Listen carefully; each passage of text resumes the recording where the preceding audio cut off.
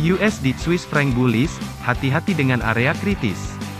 Harga USD Swiss franc sedang melakukan fase rebound dan membuat bias harian pergerakan USD Swiss franc terlihat masih berada dalam kondisi bullish.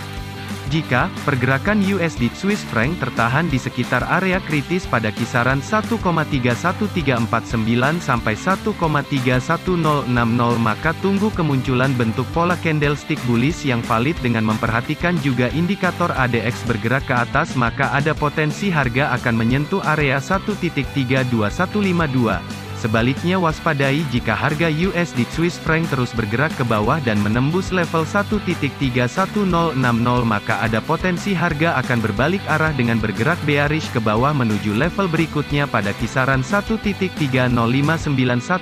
Sekian analisa forex untuk tanggal 31 Maret tahun 2022.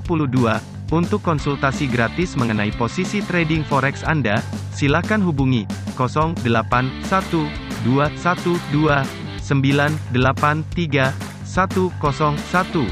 Sekali lagi, 081 212 983 101. Kami dengan senang hati berbincang dengan Anda. Untuk mendapatkan analisa forex setiap hari, silakan subscribe ke channel ini. Sampai jumpa di video berikutnya.